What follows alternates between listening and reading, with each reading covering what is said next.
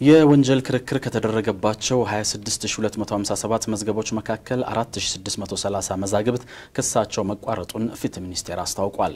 ሚኒስቴሩ ይህን ያለው ዛሬ የ2014 ዓ ም የመጀመሪያ ስድስት ወራት እቅድ አፈጻጸም ሪፖርቱን ለሕዝብ እንደራሴዎች ምክር ቤት አባላት ባቀረበበት ወቅት ሲሆን ክሶቹ የተቋረጡት በወንጀል ክርክር ሂደት ተከሳሾችና ምስክሮች ባለመቅረባቸው ምክንያት ነው ብሏል።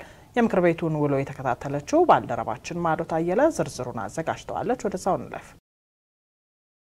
በግማሽ ዓመት በወንጀል ክርክር ሂደት ተከሳሾች ባለመቅረብ የሚቋረጡ መዛግብት ከ10 በመቶ እንዳይበልጡ ለማድረግ ታቅዶ ክርክር ከተደረገባቸው 26257 መዛግብት ውስጥ 3519 መዛግብት ክሳቸው የተቋረጠ መሆኑን ፍትህ ሚኒስቴር አስታውቋል።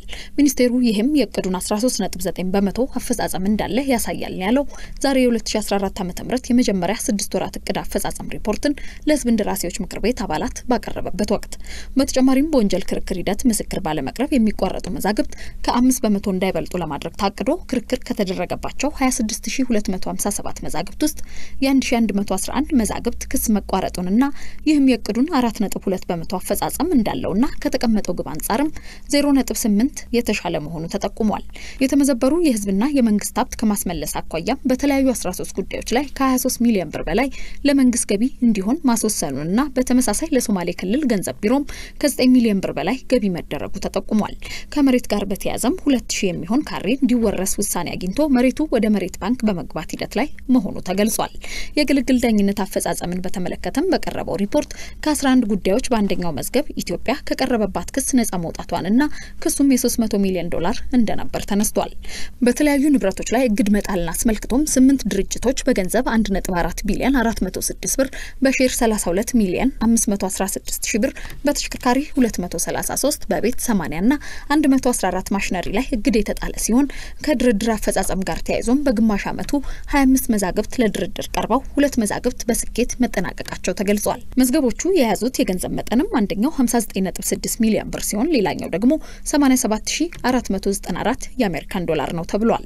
ይህ በእንዲህ እንዳለ በህዝብ እንደራሴዎች ምክር ቤት በአሸባሪነት በተፈረጀው የህወሓት ቡድን ምክንያት በአማራና አፋር ክልሎች የተፈጸሙ ወንጀሎችን የሚያጣራ የምርመራ ቡድን በሁሉም ቦታዎች የወንጀል ምርመራ በማድረግ የተፈጸሙ ወንጀሎችን ወንጀል ፈጻሚዎችንና የወንጀሉን አፈጻጸም የማጣራት ስራ በመስራት የወንጀል ፈጻሚዎችን ተጠያቂ የማድረግ ስራ እየተሰራ መሆኑ ተጠቁሟል። ፍትህ ሚኒስቴር የ2014 ዓ ም ግማሽ ዓመት ሪፖርትን ለምክር ቤቱ አባላት ካስደመጠ በኋላም በቅርቡ ክሳቸው የተቋረጠው ግለሰቦችን አስመልክቶ ክሳቸው ለምን እንደተቋረጠ ከህዝብ ተወካዮች ምክር ቤት አባላት ለቀረበው ጥያቄ የፍትህ ሚኒስትሩ ዶክተር ጌዲዮን ጢሞቴዎስ በሰጡት ማብራሪያም ክሱ የተቋረጠባቸው መዝገቦች ሶስት ሲሆኑ በሁለቱ ሙሉ ለሙሉ በመዝገቡ ያሉ ተጠርጣሪዎች ክስ እንዳለ የተቋረጠ መሆኑንና ለዚህም ታሳቢ የተደረገው ይህ ነው ብለዋል ዶክተር ጌዲዮን።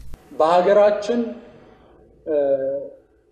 መሰረታዊ በሆኑ የሀገራዊ ጉዳዮች ላይ አለመግባባት በስፋት የሚንጸባረቅ በመኖሩ የተለያዩ ቅራኔዎች፣ አለመተማመኖች በመኖራቸው በጣም እነዚህ ደግሞ ስር በመስደዳቸው እና የተረጋጋ የሰከነ ፖለቲካዊ፣ ማህበራዊ ሁኔታ እንዳይኖረን እያደረጉ ስለሆነ ሀገራዊ መግባባትን ለመፍጠር ሀገራዊ ምክክር መድረክ መካሄድ ይኖርበታል። እነዚህ ሰዎች በቀጥታም ሆነ በተዘዋዋሪ በሀገራዊ ምክክር መድረኩ ተሳታፊ ቢሆኑ የሀገራዊ ምክክር ሂደቱን ተአማኒነትና አካታችነት፣ ውጤታማነት ሊያሳድጉ ይችላሉ ተብለው የታሰቡ ስለሆነ ይህ ውሳኔ ተወስኗል። የሶስተኛው መዝገብ ክስ መቋረጥ በህብረተሰቡ ዘንድ ውዝግብ ያስነሳ ነበር ያሉት ሚኒስትሩ በህዝብ እንደራሴዎች በሽብርተኝነት የተፈረጀው የህወሓት ቡድን ጋር በተገናኘ ወታደራዊና ፖለቲካዊ አመራር እንዲሁም ከጦርነቱ ጋር በቀጥታም ሆነ በተዘዋዋሪ ተሳትፈዋል ተብለው የተጠረጠሩ በመቶዎች የሚቆጠሩ ግለሰቦች የተከሰሱበት መሆኑንና እንዲሁም ከነሱ መካከል የስድስቱ ግለሰብ ክስ መቋረጥ አስፈላጊ ሆኖ የተገኘበት ምክንያት ይህ ነው ብለዋል። የእነዚህ ስድስት ግለሰቦች ክስ እንዲቋረጥ ስንወስን የተለያዩ ፋክተሮችን የተለያዩ ነገሮችን ታሳቢ አድርገናል።